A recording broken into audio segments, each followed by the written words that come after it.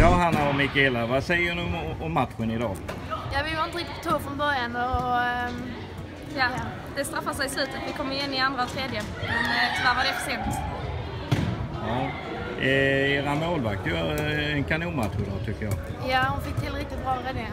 Ja, båda två var riktigt duktiga. Och vad säger ni mer då? Alltså, de hade några turnmål men vi hade ju också ett sånt. Och vi kluddade till det framför eget mål och det straffar sig.